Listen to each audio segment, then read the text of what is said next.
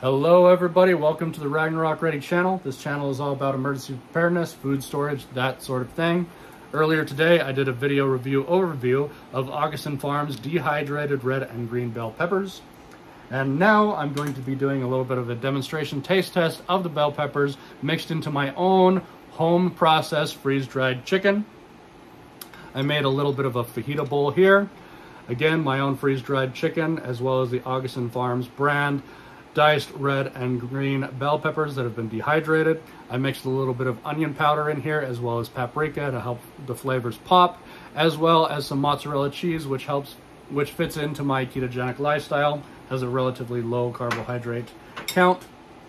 Um, so I freeze dried this chicken back in May and I put them in these tiny little individual size um, Harvest Right brand Mylar bags. I like these bags as they are more friendly to like an individual serving size rather than these bigger bags here that are more for like a family serving portion size or like a long-term like week time use, that sort of thing. So anyways, let's dive into the taste test of this fajita bowl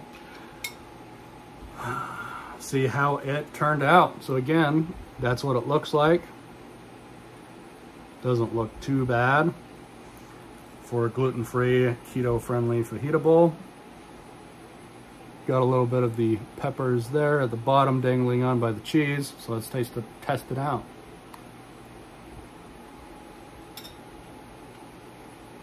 Hmm.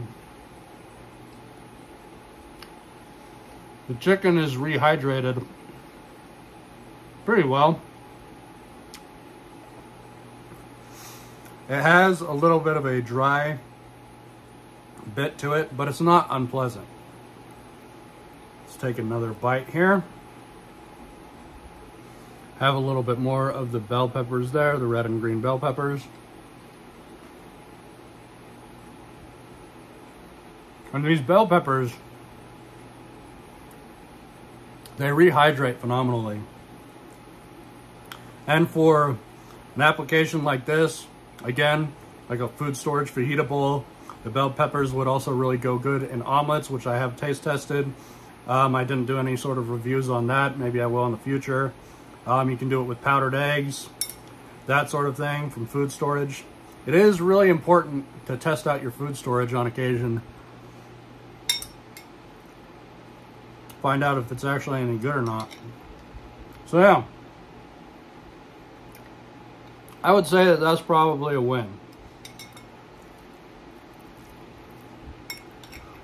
Anyways, if you enjoy this sort of content, please like, comment, subscribe, and stay tuned for further content. Thank you so much.